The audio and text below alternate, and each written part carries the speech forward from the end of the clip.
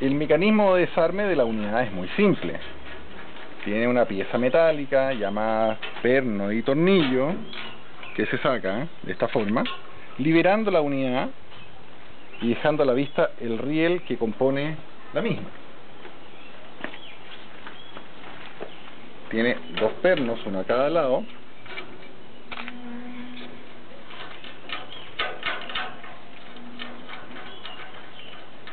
hay que tener siempre precaución de cuando uno haga esto con la máquina no perder las piezas que la componen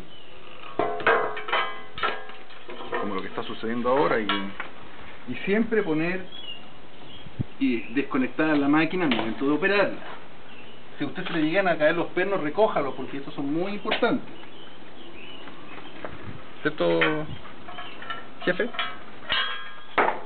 Eso no, no tiene que suceder. Asistente, pásame el, la golilla. La golilla maravillosa. Ok. Recomendamos que la unidad sea tratada con mucho cariño.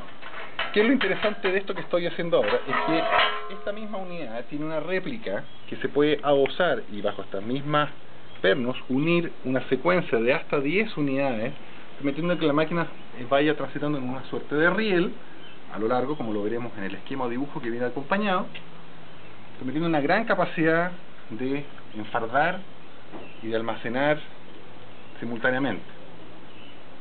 Eso.